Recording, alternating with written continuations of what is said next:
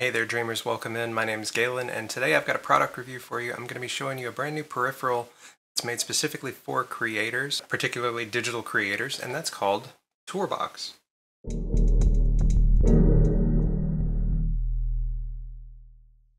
Now, I do want to put a disclaimer right away. Tourbox did contact me and offer to send me one of these to review for this video. I have spent uh, about two weeks now working with it every single day and I wanted to share with you my experiences and what it's all about. So what is Tourbox? Uh, while I open this up here, Tourbox, it's a peripheral made for creators. It has 14 different buttons, dials, and knobs that are on it that you can use to customize different actions within your software that you use. It comes with some pre-built in uh, layouts for things like Photoshop and Premiere Pro and uh, but it also gives you the functionality where you can create your own custom layouts and save them. As I open it, I notice it's it's extremely well packaged. The box is really nice. Um, comes with a really uh, detailed quick start guide. It comes with these awesome little uh, carrying cases. Um, I, I personally wouldn't likely use the cases because I don't move my studio very much, but if you are an artist or a creator who works on the go with a laptop, uh, it might be good to have something like this because you can put it in this bag and then put it in whatever, uh, you know, backpack or carrying bag that you might have for your equipment. It comes with a bag for the cable and for the Tourbox itself. The first thing I notice as I pick it up is it's it's a lot heavier than I imagined it would be, and uh, I think that's a good thing because when I first saw the images of it, I wasn't really sure what the uh, the overall quality would be. Uh, but it's it's very nice. It's very solid. It feels sturdy. It's got a sort of rubbery texture to the outside. Um, and it's got little feet on the bottom to keep it from sliding around on your desk. See here, like it doesn't, it takes some actual force to move it around. And as far as size, here you can see it's it's roughly about the same size as something like an Elgato Stream Deck, so it fits pretty easily on your desktop. It'll connect to your computer using a USB to USB-C cable that is included. So the cable quality is actually pretty nice. You can see uh, it's nice and sturdy. It's not flimsy. It's got good chunky, um, you know, coating on the ends of it. And the cable itself is actually coated with a fabric weave to protect it. Once you've got everything unpacked, one of the first things you're going to want to do is go to the website. You're going to go to tourboxtech.com and you're going to go to the downloads page and click software. And here you'll choose uh, whichever operating system that you use. You will download it and install it. Now you've got your software installed, you've got the hardware unpacked. What's the first thing you need to do? Uh, well, once you open the Tourbox console software, you'll see this here on the screen. You'll see it's got presets built in for Photoshop, Lightroom, Premiere Edit, and Premiere Color. I've taken the base Photoshop uh, preset that they have and I've gone through and customized it for myself. Now, when you, uh, you'll notice that as you scroll through here, you'll see the buttons here on the left side. And then here it shows you what the current uh, hotkey or shortcut is assigned to that button. And as you hover over them, it also highlights the button over on the little image down here, um, making it very easy to tell like which button it is that you're customizing.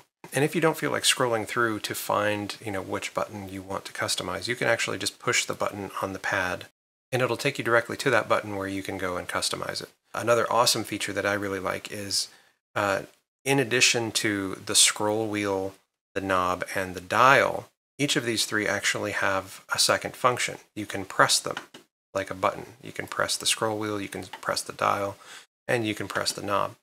And so that gives you a lot of different things that you can use to customize to make uh, whatever software you're using function a lot more efficiently for yourself. Even more than that, like if that isn't enough, there are button combinations. Like if we scroll down here, you can see there's button combinations if we use this top button and the D-pad that's on here, the side button and the D-pad, and uh, combinations of both of these mixed with the C1 and C2 buttons that are here.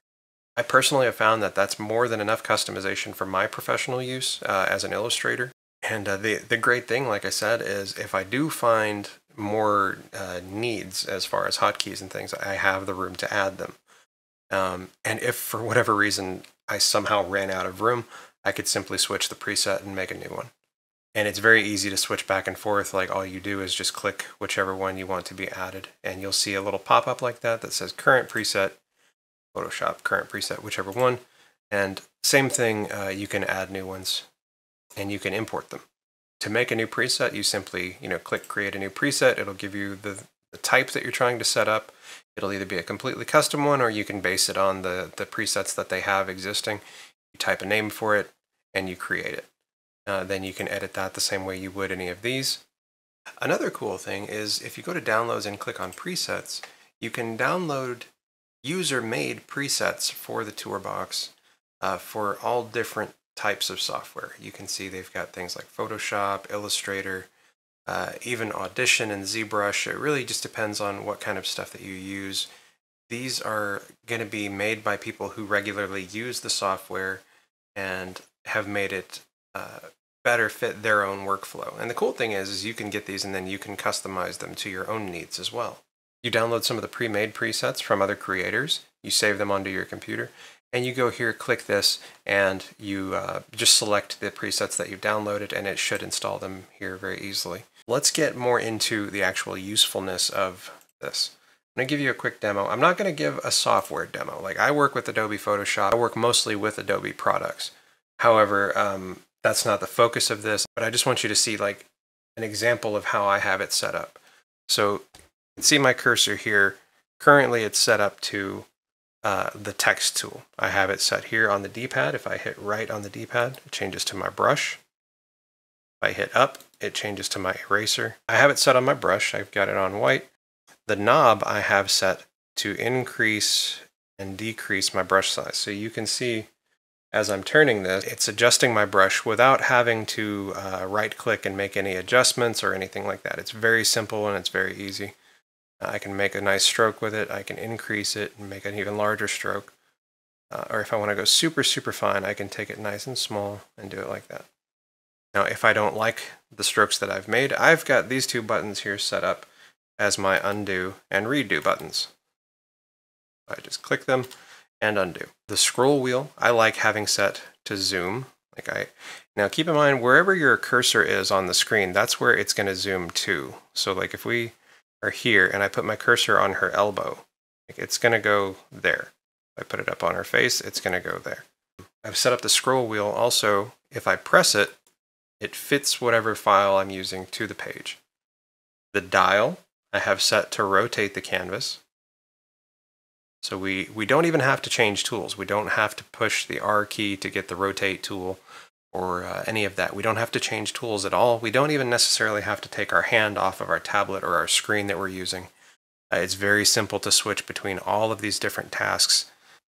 All those extra seconds that I spend going from drawing to moving my hand down to the keyboard to hit like control something or shift something, control shift something. Um, I save time by not having to, you know, go back and forth a hundred times, you know, over the course of a couple of hours. Keep my left hand on the Tourbox and I keep my right hand drawing. Another thing I have set up for this side button, because something that I do a lot when I draw is I flip my canvas a lot or I flip the particular layer. And so I have this button set up to flip whatever layer I'm on horizontally. So like if I'm sketching a face, I can I can quickly flip it back and forth and check on my proportions and things like that. It's it's super nice. One thing that I will say uh, when you're getting started, you're probably going to want to keep this open somewhere where you can reference it. Because uh, it, it is a lot of buttons. It's kind of like learning a new video game at first. Um, you got to figure out what all the controls do. The small button here, that is something that I use, like, let's say if I'm scrolled in and I'm working, I, I push down on the small button, it hits the space key, and so I can I can move the canvas around in Photoshop.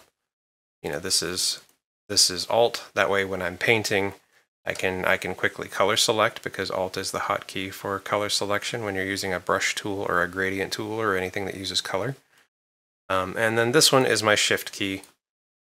And uh, so like there's, there's all these different combinations. And another thing that I do is uh, I have my, my knob set to where it will save. Like if I've already saved the file and I'm just working on it, uh, but I want a quick save in between as I'm doing things. I just quick tap that button, saved, and that's it.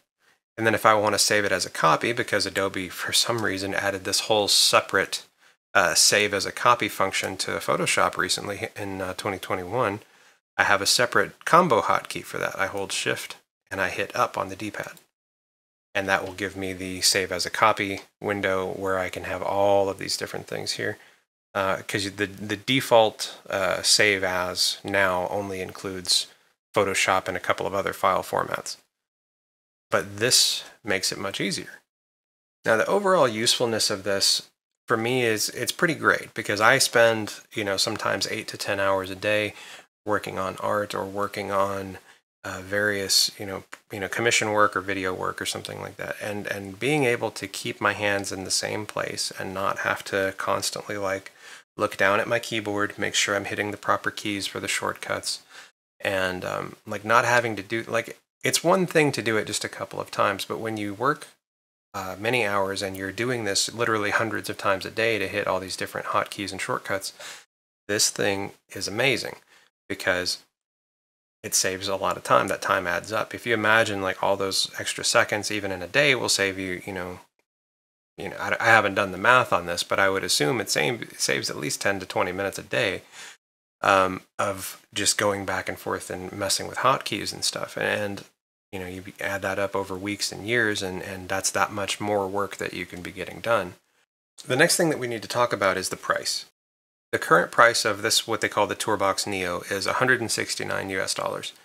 Now, that may not work for a hobby artist or a hobby creator because that is a, a fairly significant expense when uh, essentially this is a luxury item. It's not something that you that you absolutely have to have in order to create. But for a professional or for someone who is putting in lots and lots of hours, this is a game changer for you because, like I said, it's going to save you a lot of time in the long run. And ultimately, as an artist and a creator, time is everything. As a final overview, I think it's important, like I said, that you know, to remember this is a luxury item. This is not something that the everyday creator actually may or may not need. It's just it's something that makes your job easier and it's something that saves you a fairly significant amount of time, in my opinion, um, where you've got all of the different functions that you use in one place versus having to chase them around a keyboard and take your hands off of what you're doing. Like, as a final word, would I recommend this? Absolutely. Especially if you're a digital artist like I am, this is something that can save you a lot of time.